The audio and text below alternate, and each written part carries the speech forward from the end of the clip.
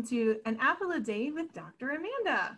I'm so glad to have all of you out there and Trina as well. Also on YouTube, make sure you like, share, subscribe, and you also tell a friend about what you're hearing, and especially if they are in the area this the next two weeks of mental health, especially in the area of suicide. And just know I will be posting at the end always on the podcast and on YouTube mental health outline numbers, making sure if there's anything and you need something, I want to make sure you have access to that. Okay. So even though you're getting important information today and that might help you, I always want to make sure that you have that information as well.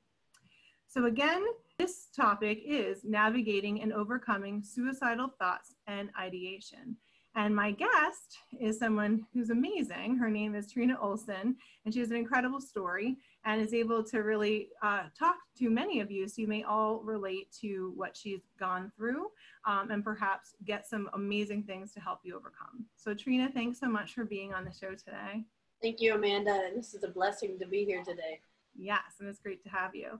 So, Trina, the first thing is really what does it mean to, to battle suicidal thoughts, Trina?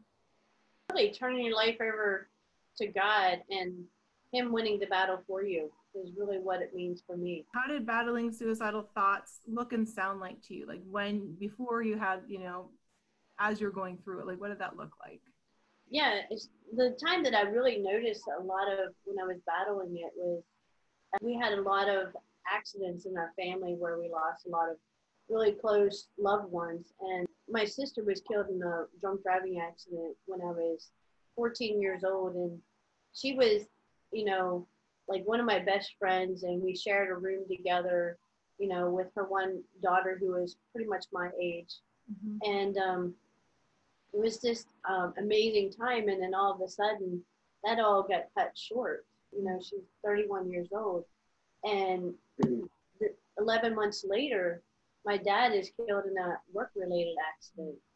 And so, I mean, we had a really happy go lucky family, really close knit family. And then all of a sudden, you know, oh, like, how do you deal with this? And back then, there wasn't teachers that were asking you, you know, how are you coping? There wasn't anyone, you know, there was counselors, but I didn't know anything about going to them, and no one ever came to me, you know, even in high school, because it happened during the fall, you know, fall time. So I was in high school and not anyone had ever really came and asked me, Hey, can I help you? Do you need to talk? You know, I was on a basketball team. No one ever, uh, you know, came and asked me, you know, and so I, I wasn't one that was forthright and I did, I was, I was very timid and I was backwards and, you know, and then when I was graduating high school, my niece was killed in a drunk driving accident. She was four years old so each one of those things just started to spiral. And I was a happy go lucky person on the outside. And, and I saw, you know, people going into a psychiatric ward who really didn't see um, them overcome or find victory, you know. And it's not that that doesn't help people, but it, I didn't see it. And I think the enemy really allowed me to see the wrong side. Mm. You know, he didn't allow me to see where where I could get help. Yeah. And you know, and he fed that fear, and so in that all, they all had something more to give to life. That, and that's what I felt. Mm-hmm. I felt that my dad, you know, he was provider of the family, mm-hmm. and without him, you know, we struggled. You know, we we struggled, you know, taking care of the house. We struggled for provision, you know, and we weren't really a godly family. Mm-hmm. So I didn't have God to look to. My sister was loved by everybody. She was, you know, life of the party. And she just knew how to change the atmosphere in any room and have fun. Mm-hmm. And my niece, I mean, four years old, who doesn't love a four year old?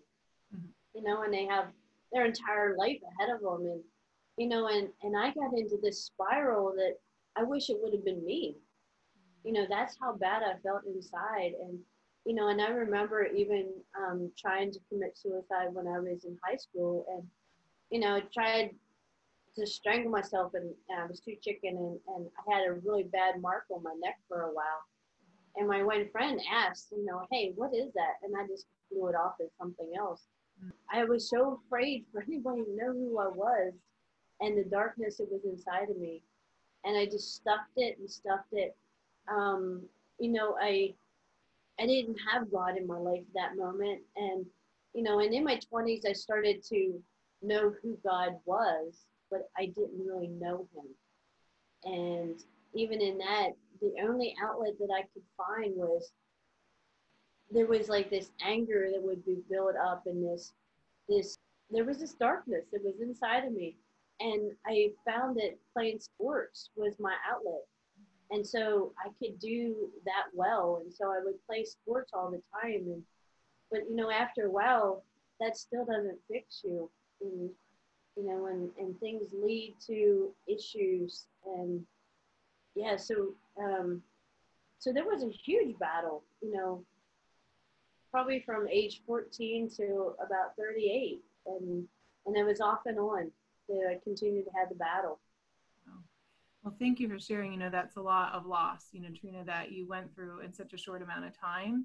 And you know it's hard to deal with. And you know what happened wasn't really normal right i mean was, you had to normalize what wasn't normal you know in your circumstances yeah. losing your dad you know your sister and you know and then even all those other family circumstances in high school and so even in the audience, like there might be people watching or having had loss like that, right? So you might be um, under, understanding or hearing what Trina's saying and be in that same situation where you had your family, right? You had and what was, you know, what is normal, but what, you know, what seemed to be everything was go happy, you know, everything was everybody was there. And then all of a sudden you had a huge shift you know maybe just like trina. And then what also stood out to me you know so we're you're hopefully there's some hope as you're we're moving on you know audience and hearing the story that you can hear some things. But i wanted to also say trina a big thing that you you touched on that i think is important is saying well no one really in high school noticed. Like no one no one knew what to do with right mental health or even grief or loss yeah.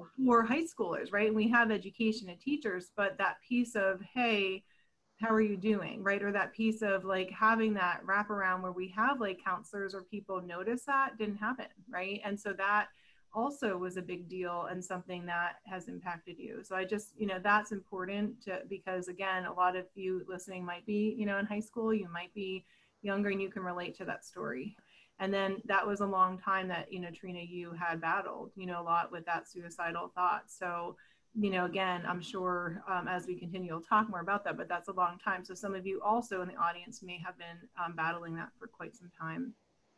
Did you have anybody to confide in during those hard times of suicidal thoughts? I didn't feel like I could. Um, I feared reaching out to somebody and not finding a victory more than I feared death itself, and that wasn't a good place.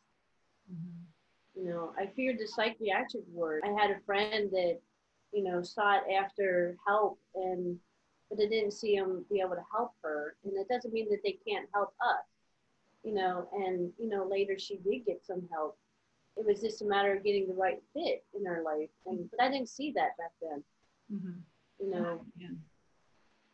And that's a good point about the stigma, right? Around like help seeking, like, you know, whether it be men or women or you know, even in psychiatric units or depending, all have thoughts, right? We're human beings. Yeah. I think that, and I don't know if you agree, Trina, but sometimes, like, you know, it's not always our thoughts, or sometimes we're in pain and we don't know where it's coming from. And then everybody sort of makes fun of that, right? They're like, oh, if you hear a voice or if you hear something else, that's, you know I mean? Like, that's horrible. Like, you might be quacky, right? And we've heard that, like, horrible things like that. And then it gets you afraid to seek help. That's a good point. I don't know if there was a time when you finally did seek support from others from help or like if that ever happened in your journey of those 24 years where you were able to share with somebody or not really? No, I even, you know, I had a best friend for 15 years and we were like connected at the hip. Yeah. And she never even knew how bad I felt. Mm. And I was in a church for 18 years and, you know, I knew about God and I had all these friends and you know I was very well connected in the church and but no one knew who I who I really was. I really felt like the you know the song casting crowns does anyone know she's gone down today i really felt like that was my life mm-hmm. that no one knew the darkness that was inside because i was afraid if i shared it wouldn't end well for me and i, I just couldn't handle um, I couldn't foresee what the outcome would be, anything but, um, you know, no help. Yeah. you know, help that didn't give you help. Yeah, and that makes sense. And I'm sure it's scary to have to want to reach out, right, and not be rejected, even trying to reach out, or people not mis you know misunderstanding you. So that's hard, you know, Trina, to have to carry a lot of that by yourself, you know, without ever sharing that. It's a long time. Yeah. What are some possible barriers for people in the audience, like and stigma? I know you kind of talked about this, but when they're trying to reach out, you know, I know you mentioned some, but is there anything else that's going on in your mind when you wanted to reach out, but then you kind of went backwards and said, no, I can't do that? Um, you know, I think um, a big thing was, you know, feeling that it was something that you can fix. Mm-hmm. You know, this is your problem. You can fix it. Like I felt like I had that stigma, you know, that mentality that, you know what, I can do this. I'm, you know, um, everyone's going to look at you like, you know, Mm-hmm. you're too weak. Mhm. You know, why can't you get over this? Like just snap out of it. You know, that kind of mentality. And I felt like, you know, feeling weak and feeling that I can't snap out of it, you know, feeling like I had no value and no one would want to even help me. Like I really felt like I had not even enough value inside that anyone would want to even help me. Mhm. That's really, you know, and thank you for sharing because that's really painful place to be, right? Not even thinking that you have value. And I'm just thinking of people out there. This is real. You know, I want you to be able to relate because some of you out there may be on the end, right, of your verge. We're like, I, I am feeling so much pain inside. I have no one to go to, you know, and you can relate to Trina. Like maybe it's been a year, even if it's a month.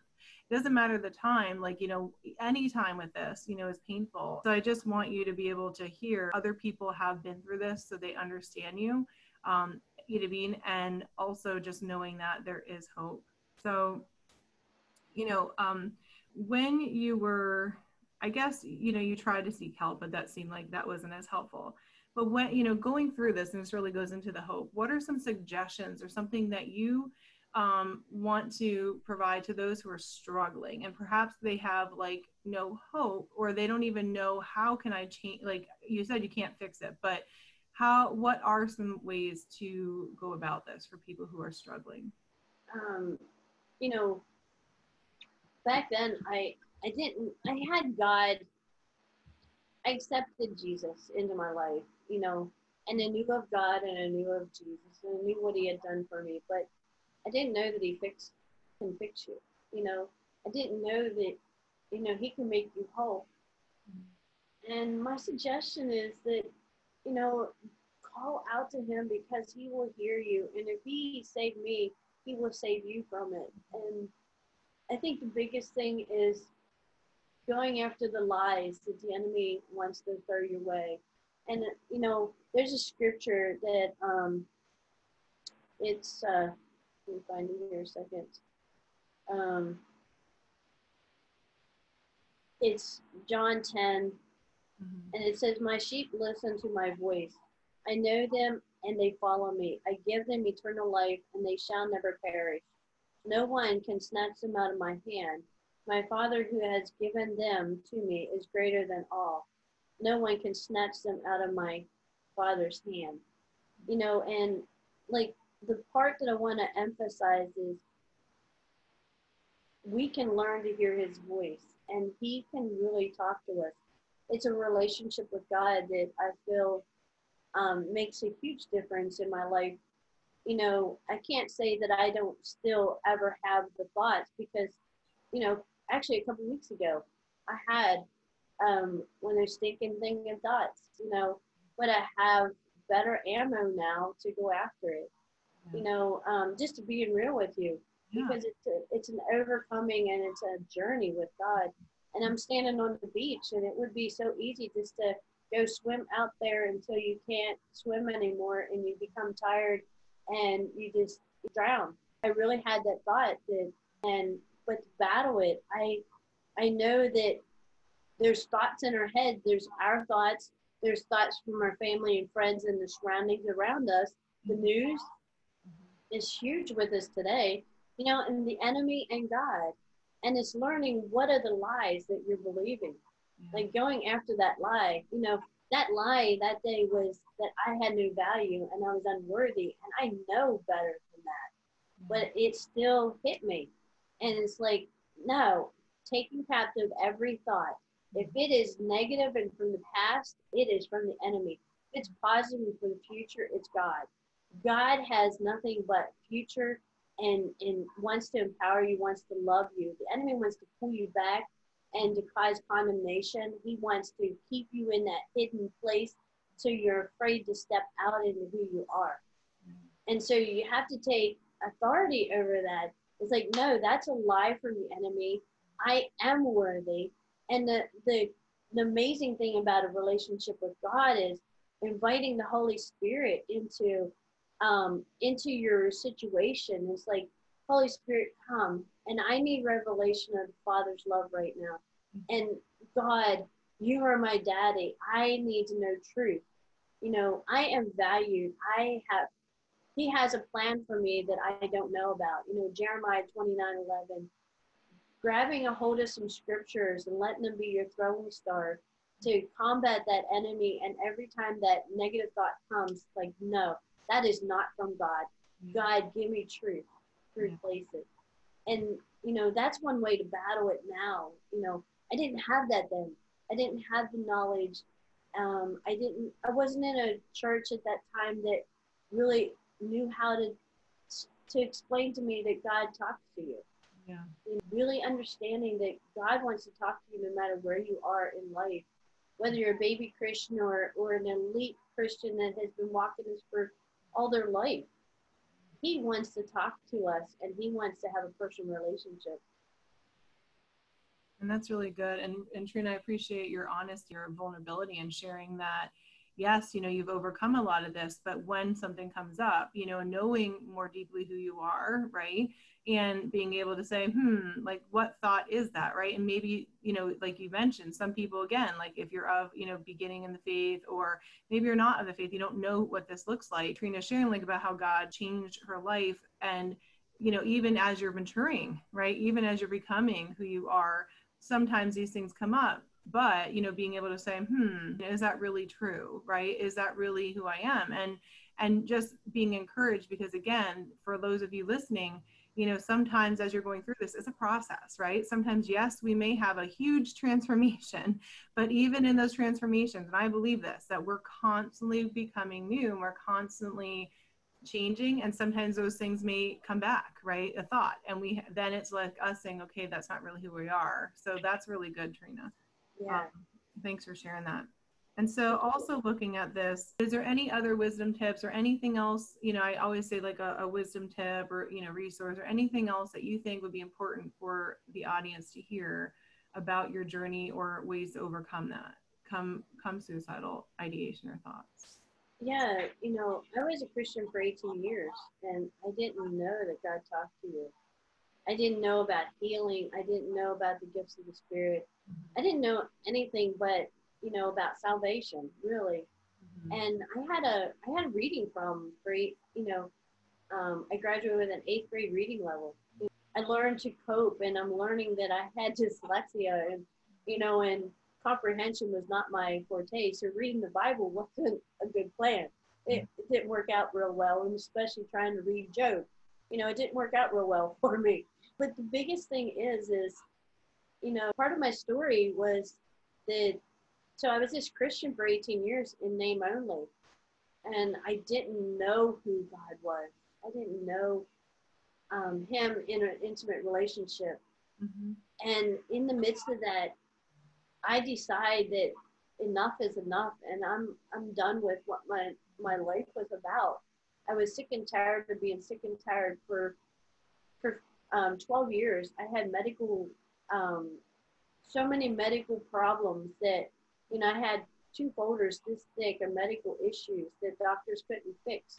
And it was another medicine, another medicine, another medicine. It was, and, you know, had um, ankylosing spondylitis of the hip and the spine. I had um, celiac sprue, you know, where you can't eat any wheat, rye, barley, or oats. And I had a really bad case of it um, where I would vomit and diarrhea really bad, extreme fatigue, horrible. Mm. I had MS, multiple sclerosis symptoms really bad. I mean, it was. I mean, I I'm not kidding. I had a list this, you know, um, two folders this thick, and and so after a while, you become sick and tired of being sick and tired. But in the midst of me giving up, God showed up in my life. And I believe that you don't have to reach the breaking point that I did. Mine was an embankment where my car was about ready to flip. And I'm thanking God that He finally gave me the courage. And I believe in that moment, He's like, You're not giving me credit for this. Mm. And He literally pulled my car off an embankment that day and turned my life around. Filled my car with the Holy Spirit. Wow. I felt different. Depression went away in an instant. Mm. That could have happened in another way. I could have called out to him laying in my bed some night. You know, I could have called out to him, you know, in the midst of my work, you know, at the keyboard, at the computer, wherever you are, you can call out to him. You don't have to find that breaking point in your life. Mm-hmm. And just say, God, I can't do this anymore. Mm-hmm. I need you. Mm-hmm. And he will fill you with your his presence. And and why I'm so adamant about the the baptism of Holy Spirit is the presence of God. He that gives you revelation more than knowledge. Knowledge can't fix you, but the revelation and the presence of God can actually heal your heart. And that working with someone who is trained in counseling or someone who really understands what you're going through, that can change your life drastically. I didn't have that. And I really, really see others being able to to get that now, you know, and and I wish I would have had it, you know, um, 18 years earlier or 25 years earlier. It would have made a huge difference in my life. Yeah. You know, um, the biggest thing, you know, I guess the biggest takeaway is no matter where you're at, cry out to God because He can help you. Ask Him to put people in your life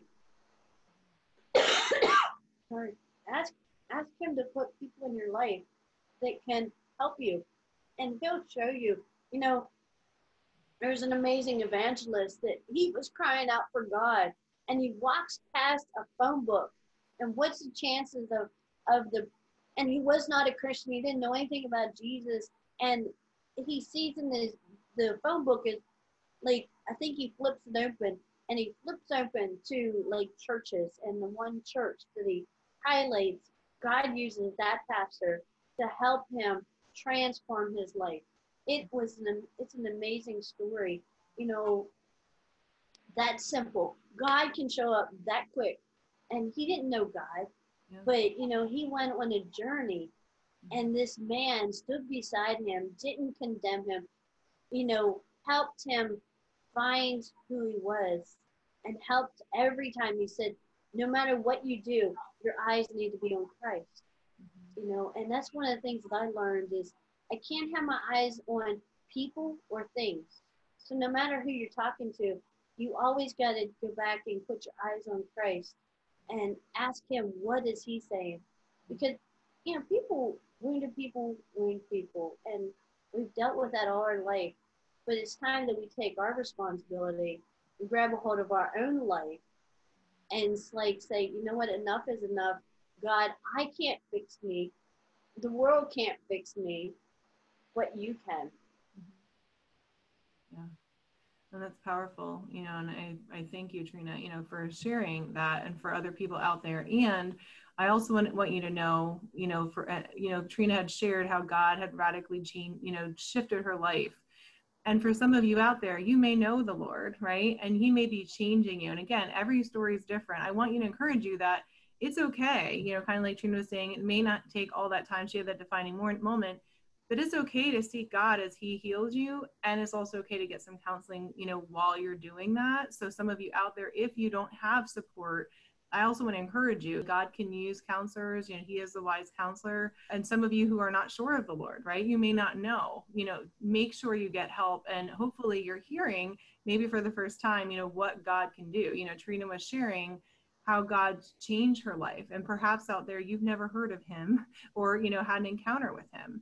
And some of you out there may have different experiences, right? You may have been hurt. You may be hurt. You may be in pain. Maybe you were you left a church that, you know, again, we're human beings that was painful. You know, I'm just encouraging as you hear this story that perhaps you have different backgrounds, but that you're you can relate to this and that again, hopefully that opens your heart up to understand, you know, what Trina's saying and how that's helped her. You know, I know there's a range of different things out there. So yes, God can totally, you know, and my, you know, our experiences on here, you know, Trina and I, you know, can change our lives. But some of you may not have felt that yet. And we just want to encourage you that he is, you know, listening as you cry out. And it's okay if you are going so, through some very eh, severe things to get the help you need as well. So, you know, he he does do that as well.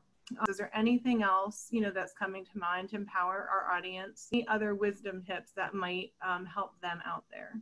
I think one of the greatest chapters of the Bible, um, one of the greatest books of the Bible is the book of John. But the chapter, chapter 17, like it really tells you how much it's Jesus' last prayer before he goes to the cross. Mm-hmm. And it's how much he really loves us you know, and in the midst of it, you know, he, um, there's, um, let me find here, John 17, there's just a little segment of it that I just wanted to share. Um, starting in 15, it says, My prayer is not that you take them out of the world, and he's talking to the Father, but my prayer is to protect them from the evil one. Mm-hmm. They are not of this world, even as I am not it, it of it. Sanctify them by the truth. Your word is truth. As you sent me into this world, I have sent them into the world. For I go down. My prayer is not for them alone. I pray also for those who will believe in me through their message, that all of them may be one. Father, just as you are in me, I am in you. May, may they also be in us, that the world may believe that you have sent me. Like there's so much in this scripture, but that we are one with the Father, we are one with Jesus. We're not alone. You're not alone. Like the Holy Spirit brings it all together. And, and if you look at it this way, like I always love bringing a funny scenario in to help make things lighthearted.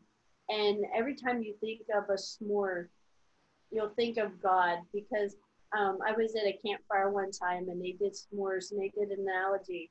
And this is amazing. So the graham cracker is God, the Father. And Jesus is the chocolate, he's the sweetness. And the Holy Spirit is actually the marshmallow that brings everything together. And you can't have one without the other. And and so, you know, allow the goodness of God to just help define who you were created to be because who you know you are is not who you're created to be. And, you know, we're not a failure. We're not um, lonely. We're, we're not an eyesore to the world.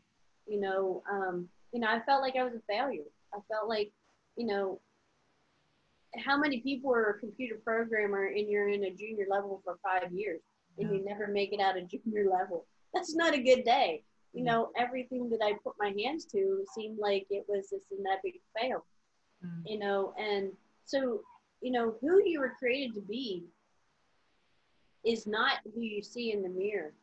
Who you're created to be is an amazing son or daughter of the Most High.